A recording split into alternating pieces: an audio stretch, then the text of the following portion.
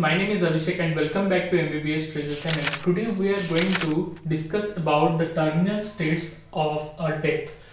In my previous video, we have already read about the periods of a disease and uh, what are the classification of disease and this is the second part of my uh, disease video. Okay.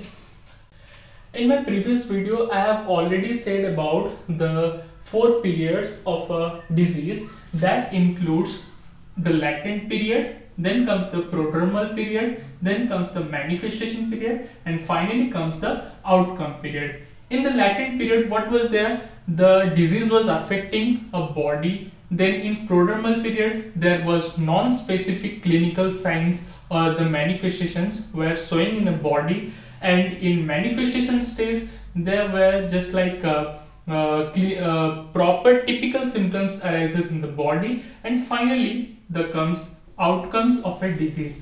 Today we are going to discuss about this outcomes of a disease that leads to death or the terminal states or the final uh, conditions of the death. So previously we have already discussed about the outcomes. The outcomes were like it can be favorable as well as it can be unfavorable. If it was favorable, it means the person is recovering or getting cured from a disease. And if it is not getting cured, if the condition of acute condition of a disease is converting into a chronic condition, then we can say that of course it's an unfavorable condition. And that unfavorable condition may lead to death. And that during that period of death there will be certain conditions that occurs in a phase wise manner. And that phase wise manner is already divided into terminal states that we are going to call that of course it's a complete process or it's a complete complex process that leads to decrease in certain elements like there will be decrease in blood pressure there will be decrease in metabolism okay? There will be loss of vital functions of the body and finally there will the person will get unconscious or decrease of consciousness. Okay these four factors these four factors will occur during the terminal states. And how these four factors gets modified during the process of death we will now learn. Okay so this terminal states is divided into four categories these four categories how it's called it's called pre-agony then comes the agony stage then comes the clinical death then finally comes the biological death. We can differentiate these two from these two by a simple manner that if the person is dying concentrate on the word the person is dying and we can uh, divide these two in the condition like the person is already dead okay so in this condition pre-agony uh, and agony we will first differentiate these two then we'll go with these two.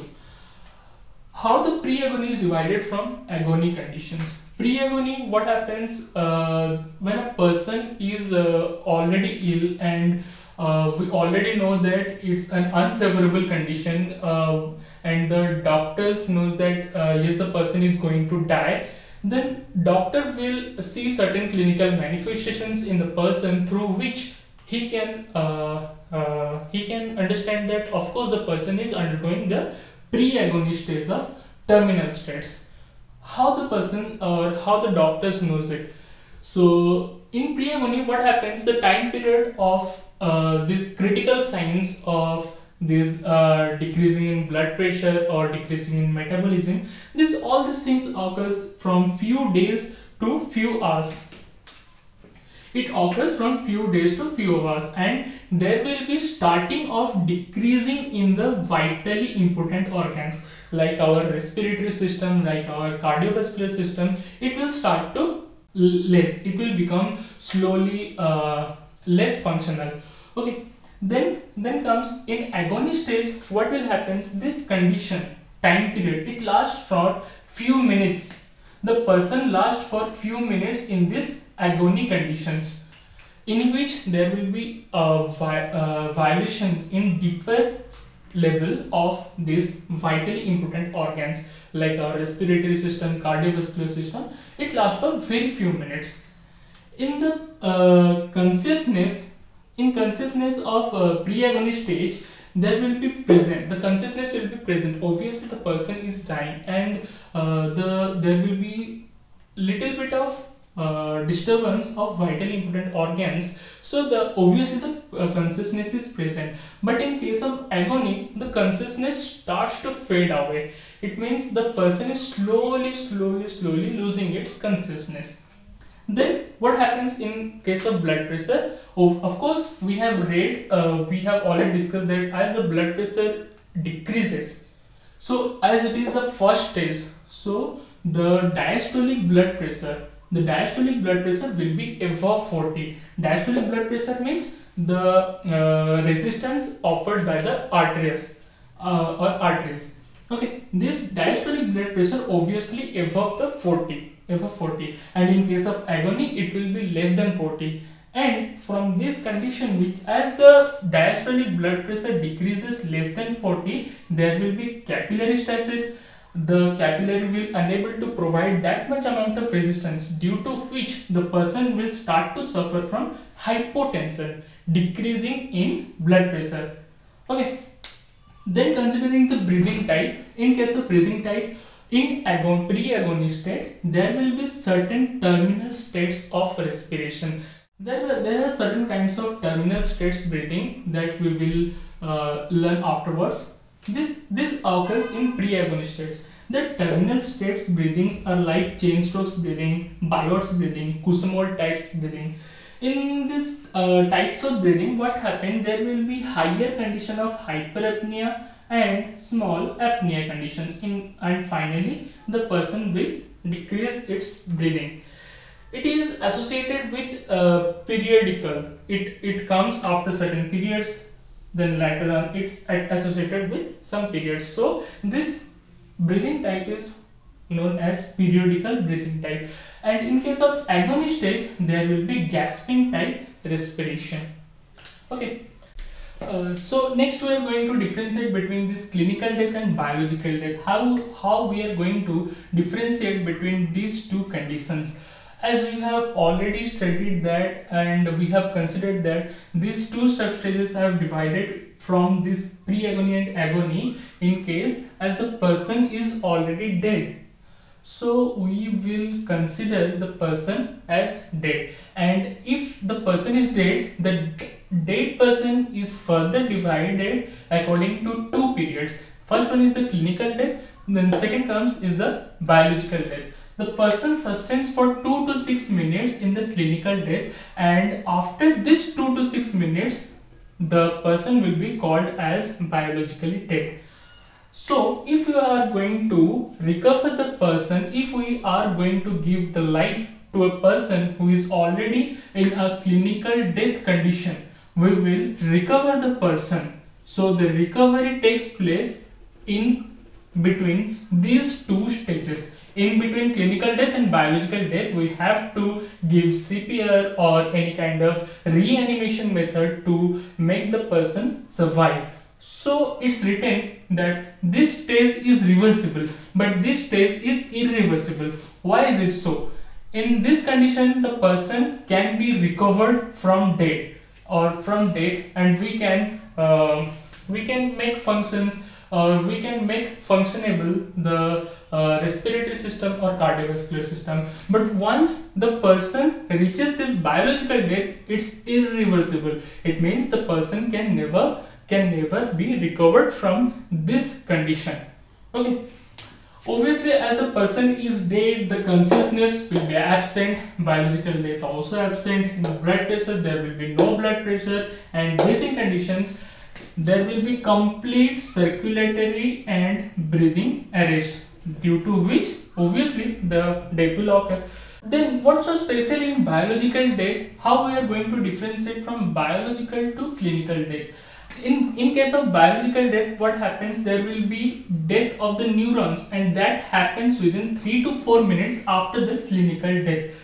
Then after the myocardial cells dies it takes 15 to 20 minutes. Then after the uh, our uh, muscle cells organ cells tissues then they they get died. So this conditions is known as biological death. If we will recover a person if we will recover a person by restoring its breathing and heart work after the death of the brain cortex. It means after clinical death and after 3 to 4 minutes of neuronal damage the death of the brain cortex that takes place and that otherwise known as coma. If we will restore the person's breathing and cardiovascular system after the death of the brain cortex the person will be called as socially dead person.